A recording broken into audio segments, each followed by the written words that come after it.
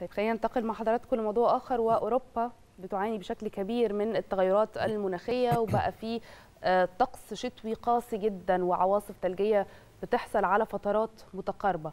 دلوقتي موجود عاصفة ثلجيه في شمال أوروبا أثرت على حركة التنقل وحياة المواطنين وبالفعل تضرر عدد كبير من المنازل.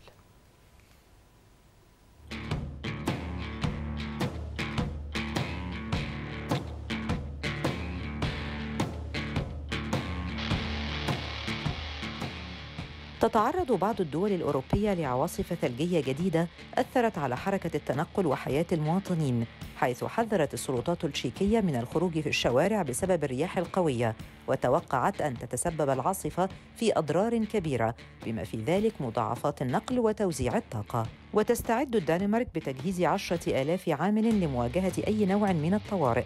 وفي العاصمة الدنماركية كوبنهاجن تم تعليق جميع حركة القطارات الإقليمية تقريباً. كما أن جسر أورسوند الذي يربط الدنمارك بالسويد تم إغلاقه بسبب العاصفة.